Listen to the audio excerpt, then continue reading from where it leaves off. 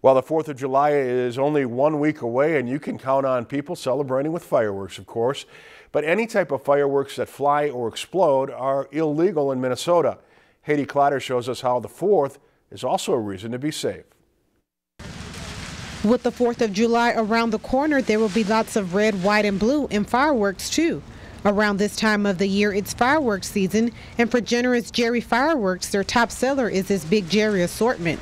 We have a very limited time that fireworks um, are actually legal, that they're um, able to be enjoyed. Minnesota law allows the sale and possession and use of non-explosive fireworks such as sparklers and party poppers. Fireworks must be handled with caution or there can be injuries. Safety is the number one importance, so um, when we're setting them off, make sure that everybody is clear of the area.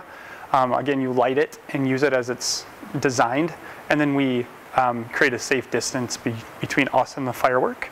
According to the Minnesota State Fire Marshal Division, there were 709 fireworks injuries in 2016.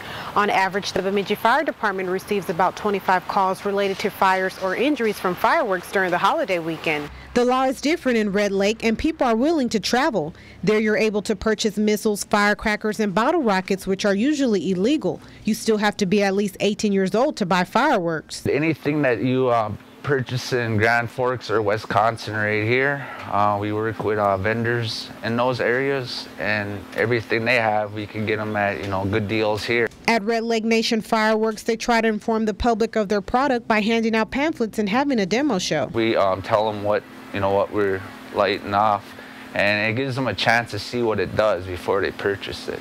If you're caught with illegal fireworks, the consequences vary based on the amount you have. Whether that uh, is uh, uh, confiscation and uh, a warning, um, all the way up to uh, um, being cited.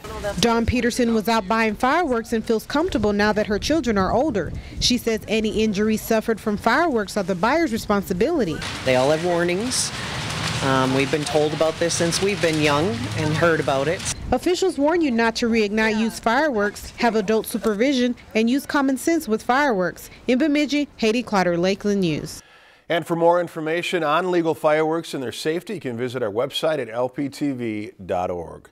If you've enjoyed this segment of Lakeland News, please consider making a tax-deductible contribution to Lakeland Public Television.